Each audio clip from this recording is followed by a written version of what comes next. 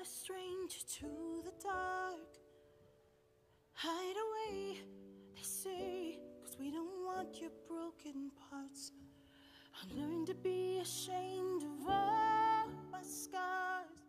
Run away, they say. I know what autism means. Autism means it doesn't mean anyone is ill or broken or have to be fixed.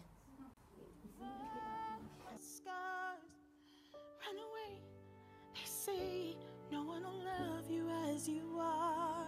But I won't let them break me down to dust. I know that there's a place for us, for we are glorious. Can I ask you what what is autism? Well, it's kind of like a flower that kind of blooms literally anywhere.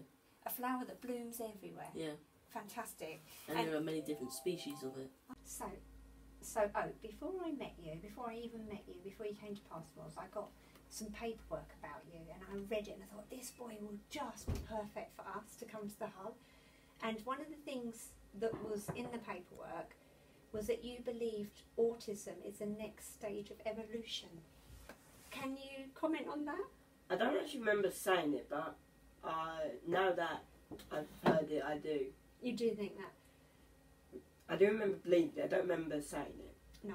So, what is it about autism that could be the next stage of evolution? I can't remember exactly uh, the reasons I gave, but had had something to do with because people with autism see things differently. Good boy. Excellent. I am brave, I am bruised, I am who I'm meant to be. This is me. Look out, cause here I come. Right. Okay, so we were just having a chat and I wondered what you could tell me about being autistic. Yeah, well, it's a disability, sort of. Okay. And in what way is it a disability? I mean, it sort of makes a person think differently than most other people. Okay. So for you personally, do you see any strengths as part of your profile? I mean, yeah. Like what? I mean, I wouldn't be here right now if I didn't have autism. What about your extraordinary singing voice?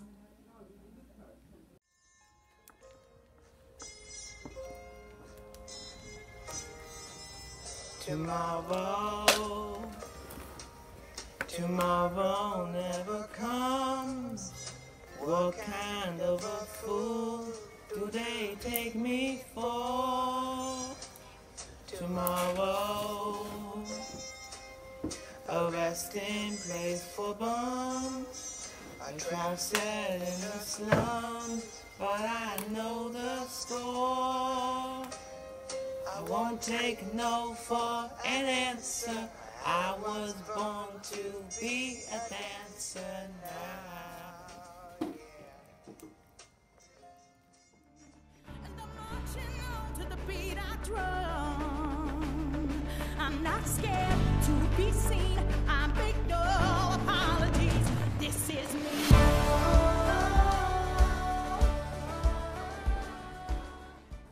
Is the there nicest I can anything say that. people could do seriously in Autism Awareness Week to, to do or stop doing that would help you with your autism and to manage in mainstream better? Uh, when it comes to teachers, if they could stop uh, like writing down the questions as the timer for answering them is going, and instead just put all the answers down at the end, that would be helpful because when they put them down while people are answering them, Yeah, I never don't- get time to do yeah. it. And then it's like, oh, well, that one's got the answer down now. I'll move on to the next one. And then while I'm doing that one, and it just, just keeps Okay. looping. Okay, and this is important. This is the awareness we need to get out there. You were agreeing, Rope. Mm, that really annoys me when like, oh, just starting to answer and then here's the answers.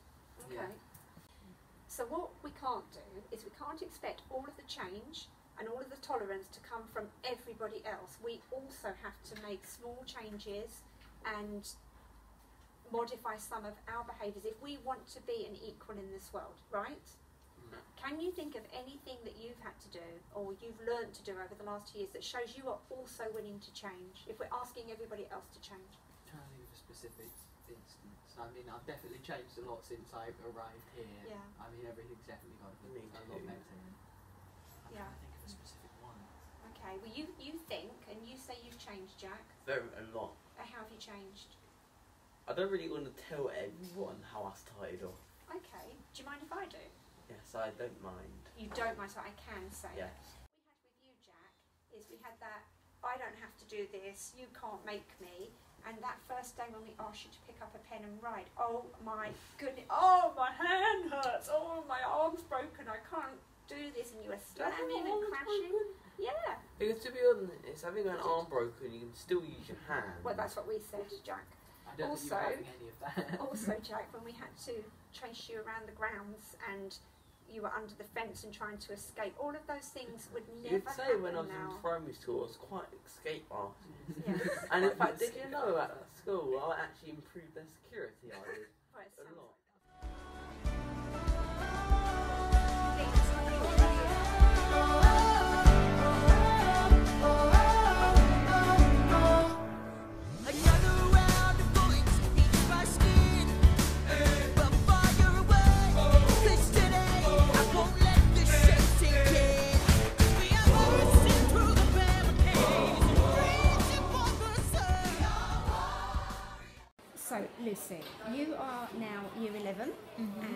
Approaching your GCSE exams. Yep.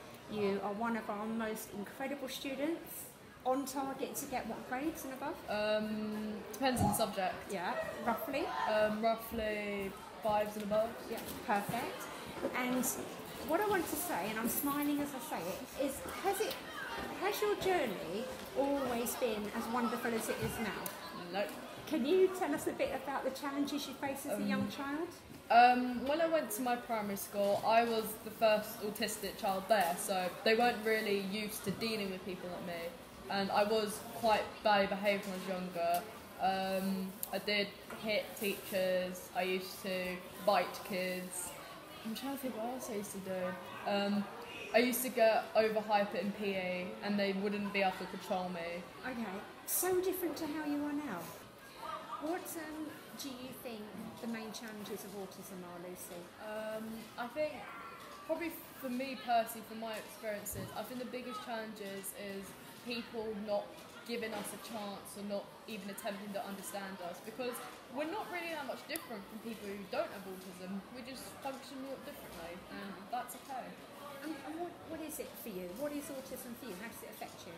For me, the metaphor or simile that I like to use is kind of imagine that you've been chucked out of your home country and you've been forced into another, and you have this giant booklet which tells you how people interact and what it means and the language, and you're looking at this booklet, but then people interact differently from the booklet, and you still don't get it, and so you're just a bit stuck.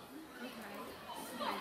Do you feel you are ready to take your place in the world when you leave here, when you leave us in July? Mostly. Good. The parts I'm still a bit unsure about. Well, I can just say screw it and I'll just give it a shot. Okay, fantastic. Love it, Lucy. Thanks, miss.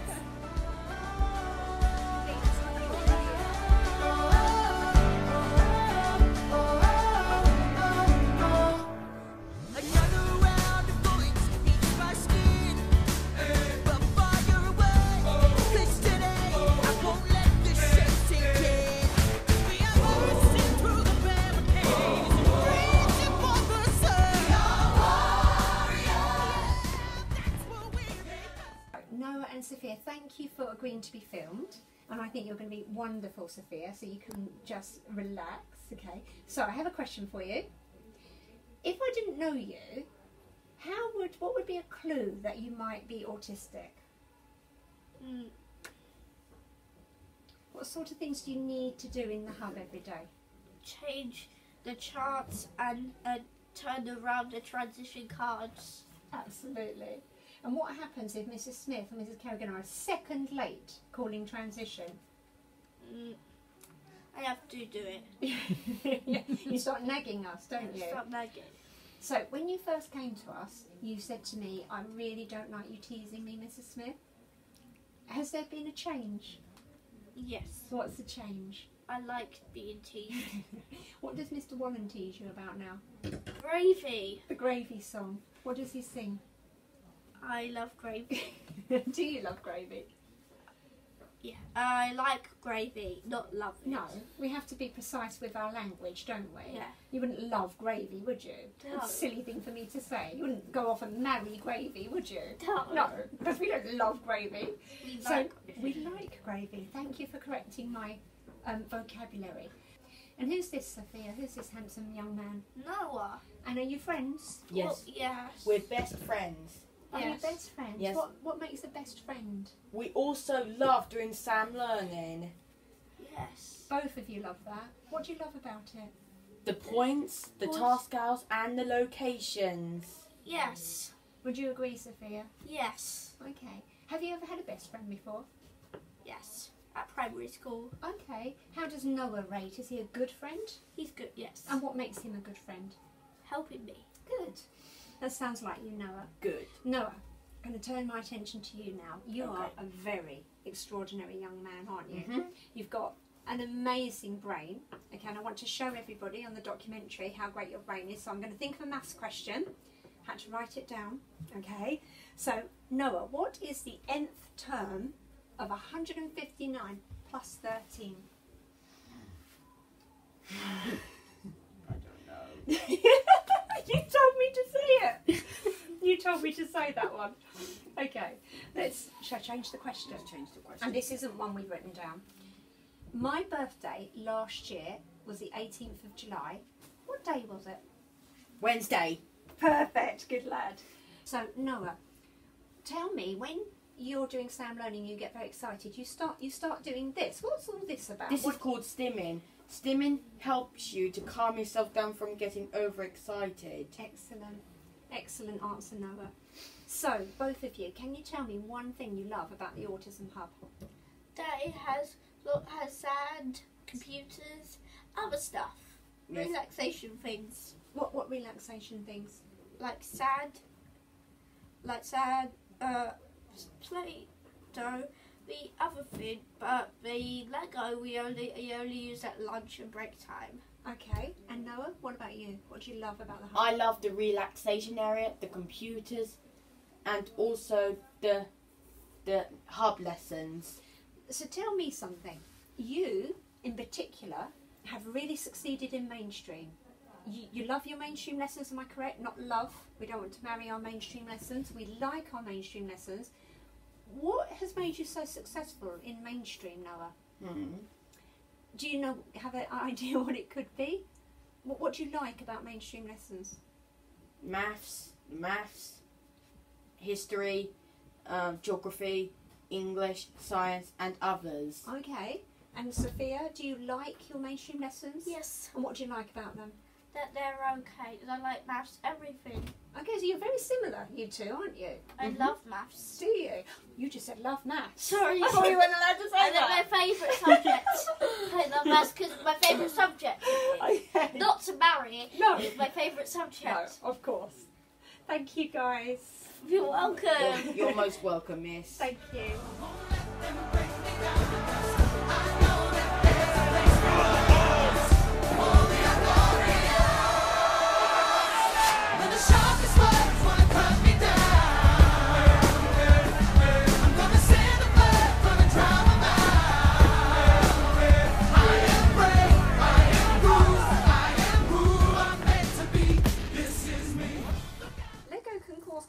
Stir in my life, boys. And we have had a few discussions about Lego, haven't we? Why does Lego become such a massive big issue for us as a hub? Please explain to me why. Because we like it and it's fun, and then it becomes not fun, and then it's not fun. okay. Right, Oak, do you have something to say about the Lego? No, I'm just going to not. Okay, so for me as a teacher with 16 young people with autism, I have to try and keep some degree of control. And when I have 16 children that all want Lego and want the same pieces and the same bits, that's why I have to put the rules in place that upset you so much. Okay, but I think, also why we've never had a single. and I think I would be right in saying that we reached a compromise on the Lego. But I can feel the tension as we're talking about the Lego during this interview. So, so this is definitely an autism thing, if you don't mind me saying so. I can definitely Oak's getting closer. some non-verbal communication about Lego. I think we should leave this. Okay. So um, there's something there then about autism then that, that these things um, are very, very, very important to you, less important to someone like me who is not autistic, and finding the middle ground there, yes? Yeah.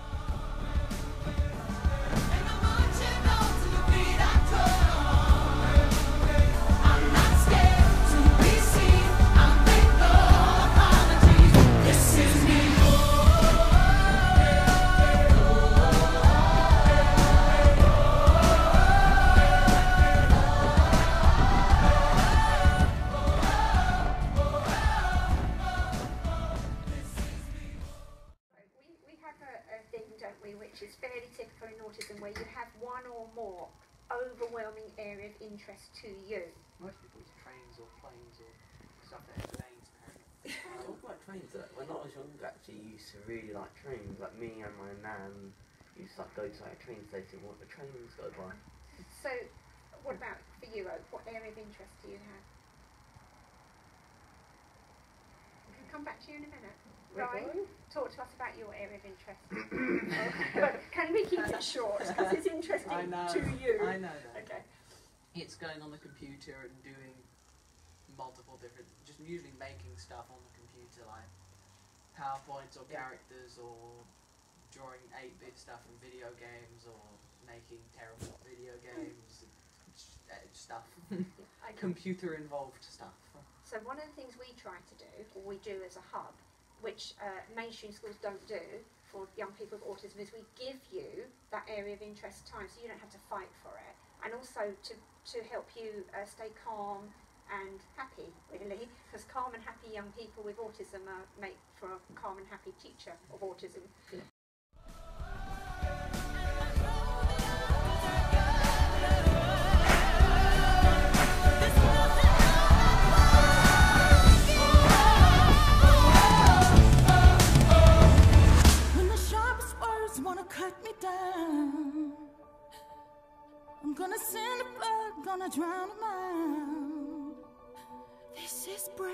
This is bruised, this is who I'm meant to be. This is Hmm, you're AC. I guess you should do that. Hmm. Or you do as well. I need your version. Do you use that voice outside in the world, Ryan, or just is that just reserved for me? Uh, it's just reserved for that. you, that. It's just reserved for the hub and home. And Right. And I think that's really important. The hub and at home are the places where it's okay to be you. yeah. Why wouldn't you do that voice out in Tesco's or out in the world? Well, obviously, A, people would video that. And, They that. might do. Yeah. Why would Yeah. they do that? and B, people might find me weird, so. Okay. So you understand that it's okay to be you when you're in a safe place. Yep. And that we have to hide those quirky behaviours when we're not in a safe place. So that's excellent. Do you think there's anything about you that, that um, makes you stand out? Well, my hair. Yeah. Talk to me about your hair. Uh, it's very hard to blend in when you've got this big hair. Okay. But do you choose to have your Yeah. hair? So what, what, what is it that you like about having all your mane of hair? I'm not sure. It just feels right, and it when I've had it cut before, it doesn't feel right. Okay. I remember once I locked myself in my room for a while like, when I was younger, uh, hoping that it would grow back while I was in there. Okay. Gosh. Okay. Is there something about it that makes you feel safe? Yeah, Like a protective barrier, almost, would you say? sort of. You can hide under it? If I want to, yeah, I Yeah. could hide underneath Yeah. it.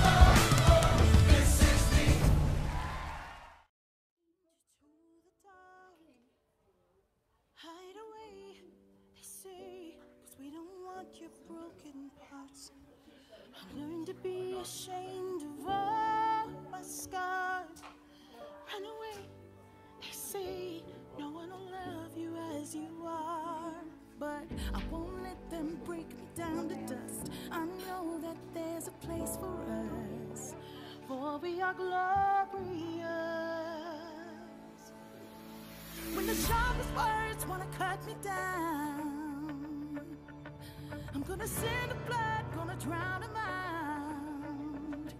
I am brave, I am bruised, I am who I'm meant to be. This is me. Look out, 'cause here I come. So, in terms of autism, there are lots of things that are good about autism. What's good about having autism? Well, obviously, like you don't feel like regular emotions. Okay. You either don't feel them or you feel like the super versions of those emotions. Right. So, what does that mean, the super versions of those emotions? Like if you like, generally people will feel happy, they'll have a smile on their face. Yeah. But if you were like really happy and like the super version of it, it'd basically be like jumping around and you know Right. having miniature ADHD. Okay. So, when you're happy, you feel a bit out of control. Is that Yeah. what you're saying? Yeah. Okay. And so, you could be jumping around and get told off, but actually, the reason you're jumping around is because you're happy. Yeah. So, what happens when you're sad? Now, obviously, with autism and the super version of sadness, you, you know what that equals to. I know, but Yeah. we want to tell everybody else. So obviously, it would be like sitting on the floor thinking about decisions and you know meltdowns. Tell me about meltdowns. This is interesting. So a meltdown is like when a child is like really really sad that like generally it's either caused by noise or a sudden change to the timetable. That happens all the time at Passmores Academy, doesn't it? So it's you're saying it's a super version of feeling sad. So tell me what a super version of feeling angry looks like. No, a super like normally when you're angry you hear like little grunts and Yeah. But a super version of angry makes you feel like you want to like literally kill someone or genuinely hurt them really badly. Yeah. Absolutely. This can also cause like the tensions or, or like B60s or. To the beat I drum. I'm not scared to be seen. I make no apologies. This is me.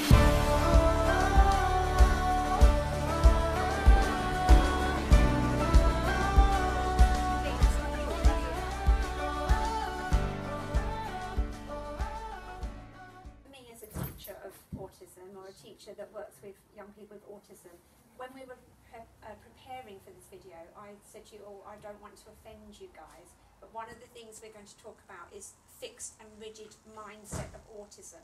And I was a little bit worried about saying that to you, and your reaction was lovely. What did you say? I was saying, uh, yeah, I know I have a fixed and rigid mindset, but I'm not willing to change that. that is really funny. That's a bit of evidence. Okay, so basically, what we mean by that is is those times where your autism starts controlling you, starts managing you. It's the times when um, things just overwhelm you, and possibly we have shutdowns and meltdowns. Can you explain to everyone what happens in that process? Do you want to try, Ryan? Give me a minute, I'll get back to Okay. you. Oak, Jack. Okay, so I'll start talking about it. It's for me as a teacher. It's when you guys have completely shut down, when we when we have to leave you and not speak to you because you're in high levels of distress, and you all show it differently. Okay, sometimes uh, our fighters come in kicking and, and shouting and screaming, and our and our children that go into flight are, are running from lessons or under the bench in distress. Right? Well, it's usually bad stuff, well, trigger happens, and then for me, I just come back here and I either sit in silence over there or just, well, actually, no, it's just sit in silence over there. Okay. Mm. And Jack, your meltdowns are different from Ryan's. Yours are very loud and shouty, aren't they? Not really, no. Oh, okay. Really, all I do is it just come in, go under the blanket, and then after like five seconds, then one of the teacher comes and we talk about what's wrong Okay. For a solid one minute. Yeah, I've had children under that bench literally for hours at a time. So, All day sometimes. as Ryan says, all, Rarely. all day It's sometimes, but rarely. So, what is going through your mind when you're hours and hours and hours in silence? Is, are you thinking about it? Are you trying to calm yourself down? What's going on there, Ryan? Not a lot. Um, I don't know, just unhappiness, I guess. There's Okay. not particularly a, yeah. Yeah. no, Okay, feeling a bit beaten by the world, a bit beaten by the mainstream world. yeah. Yeah, and, and recovering from that, I guess.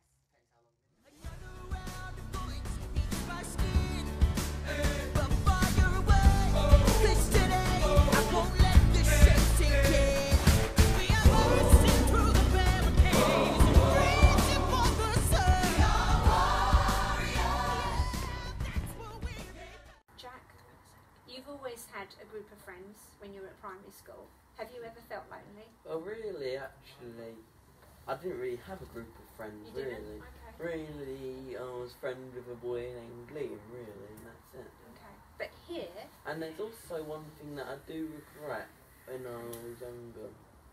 And I feel like it counts as bullying. Okay. I do regret it. Like his name's Matthew. I feel I wasn't treating him like a person, like really bad to him. Like I didn't. I don't know why I was doing it, but okay, Jack, I do We- feel bad. Yeah.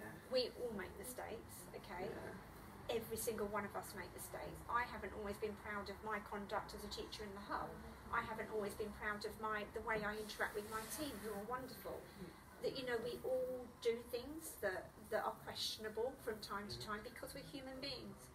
That's not you being autistic. That's you being a human being, Jack. It's okay to make mistakes, and you just forgive yourself. It was years ago.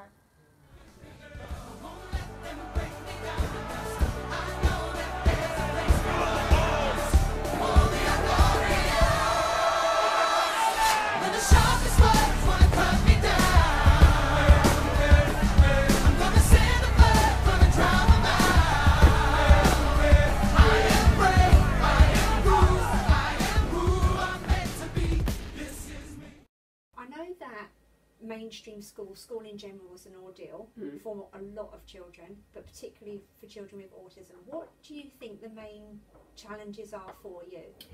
Uh, probably the people Yeah. in there. Yeah. Their behaviour? Yeah. So give me some examples of the things people do that really make life tough for you. I remember one time one of the kids just stood up in English, took one of the pegs, uh, put it there, and yelled out, "I'm a unicorn." So, so we're laughing now, but it really isn't funny, is it? So they took a peg, stuck it in their hair, and said, "I'm a unicorn." Yeah. Bizarre behaviour. Yes. Unpredictable behaviour. Okay. Mm. So, and it's good that you can laugh about it now, but at the time, What did in an assessment? Oh, okay. So, and the rules in an assessment are what? Silence. So it's about breaking the rules, isn't Yeah. it? What have you done as a young person with a strong voice that hundreds of other mainstream children at this school have not done? What have you achieved? Um, I helped the homeless. Absolutely. uh, last year and the year before. Uh, so it started when I was going to my appointments in London, and I saw some homeless people, and ever since then, whenever we go up, we bring packs of gloves, hats, food up for them. Yeah.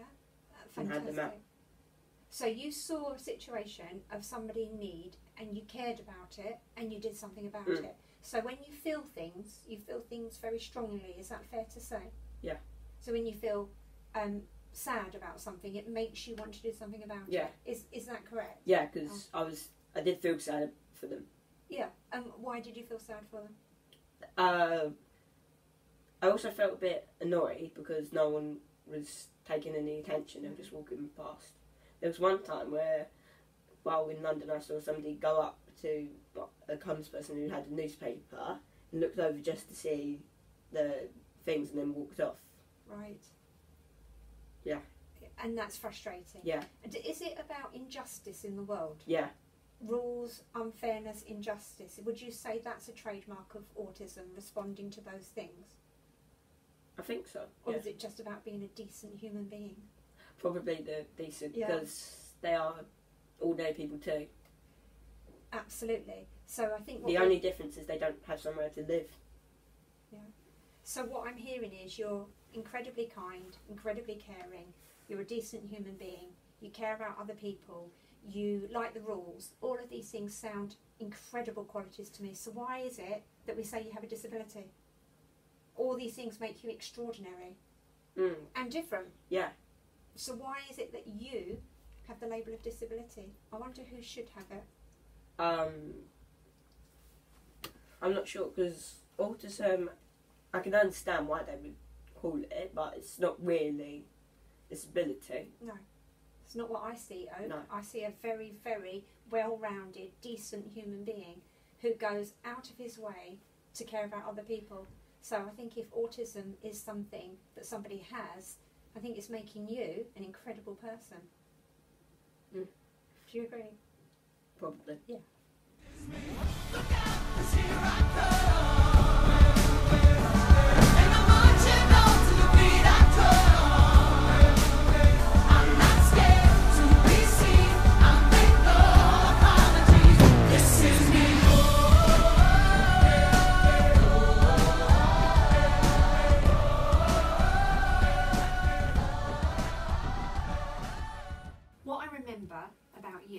When I first met you is that what appeared to be a very frightened little boy. I remember your mum and dad bringing you into the meeting room upstairs, and you just wouldn't, your shoulders were up, you wouldn't speak to me, um, you were hiding behind your mum, could barely make eye contact. And look at you now, just sitting here talking to me and making really good eye contact. I just wonder what happened to you, Patrick, to make you feel so afraid. Uh, mostly my primary. So mostly your primary. What sort of things happened? Uh, teacher being mean and kids being mean and everything. So teachers being mean, kids being mean, having a, a profound effect on you, Mm. which do you still carry today? A little bit. Tell me about that, Patrick. Mostly the teacher. Um, they just just really affected me. Like not letting me have stuff what I needed, and now it's just affected me more. Okay. So I know here you will go out with Mrs. Kerrigan, you'll go out with Mrs. Best to the shops in Harlow, away from your hometown. Your old school's in your hometown.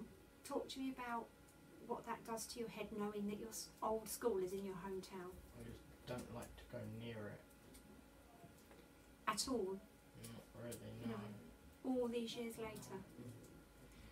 So a particular teacher, Patrick, or several teachers at the A school? particular A teacher. particular teacher. Okay. Did she? Um, was it she? May I ask? Mhm. Yeah. Do you remember some of the things that she said to you?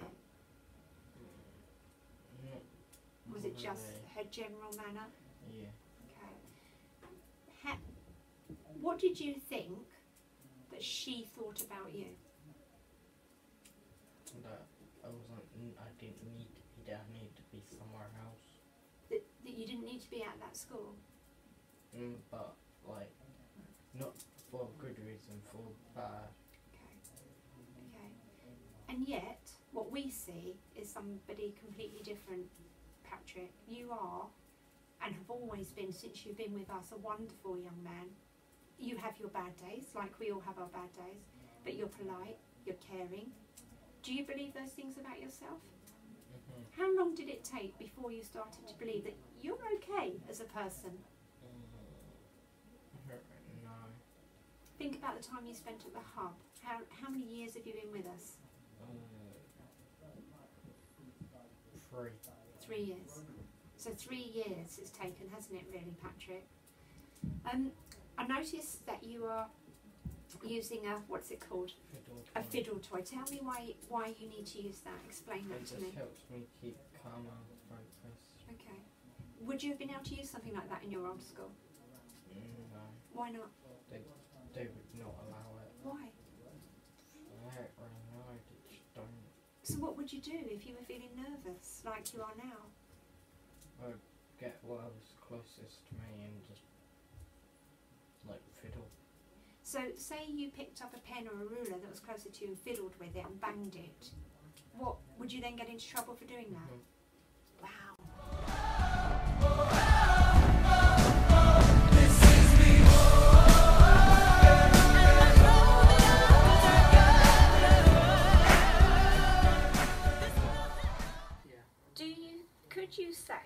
Each of you, and this is an opportunity for you. You, you can tell the truth. You don't need to be careful of people's feelings, or whether the hub has made a difference to you and why. Yes. Do you want to start right?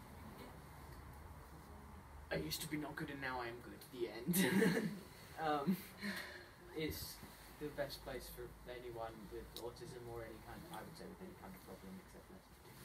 Anyway, um, yeah, and like if you have,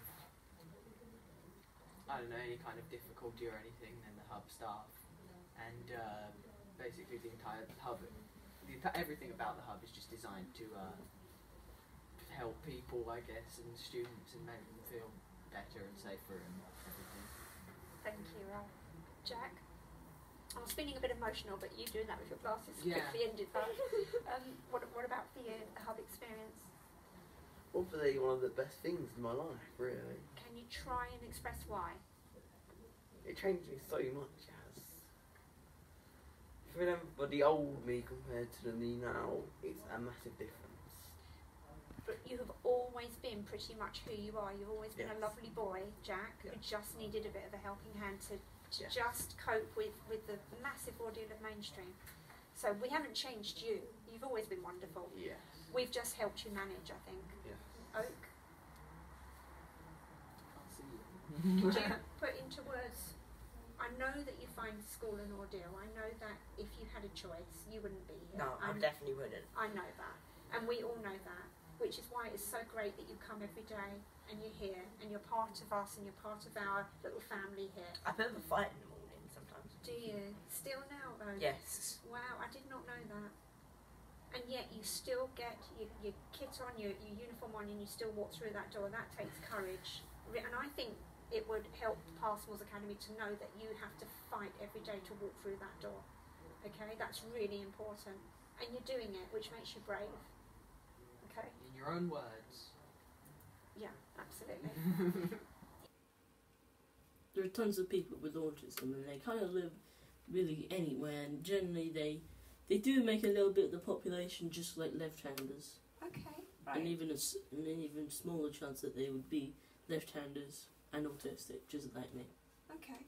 So we have to we have to learn that in this world we've got lots of different sorts of people. Yeah, people with ADHD, depression, you know, people without certain limbs, certain uh, features, and maybe and maybe like mutations and.